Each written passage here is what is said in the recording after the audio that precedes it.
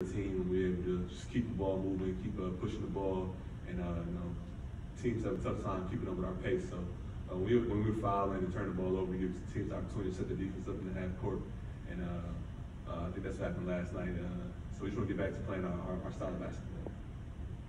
And the follow-up, how different is the dynamic of the team with Jonathan Kuminga back in action? Uh, you know, having another wing like that that's athletic and rebound can, and uh, put pressure on the rim, who can make passes is going to be another another threat for us. You know, we're a pretty deep team, so uh, having him just continues to add to our depth, and uh, Steve's able to you know tinker with Lions even more, and uh, that's something he likes to do. So uh, I'm excited to see him out there, and excited to see what he can do for us rotation.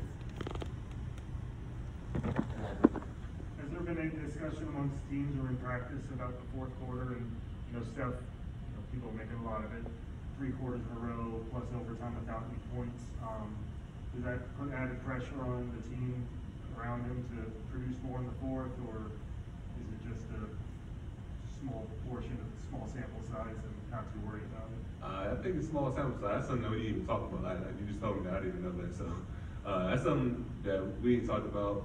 You know, teams are going to try to get the ball out of his hands. I feel like we, you know, for the most part, we usually do a good job of moving the ball on. The guys are making plays. And uh, Steph missed a couple easy shots he usually would make. Uh, so I don't think it's a, a big deal. Uh, that's something we really haven't talked about. Know, Steph always makes the right play. Uh, guys are sending two or three people at him. He's been hot through the first three quarters. So uh, guys like uh, Belly, Andre, Draymond, JP, all of them making winning plays. And you last night we fell a little short, but I don't think it's because we didn't make the right play. It was just smoking shots.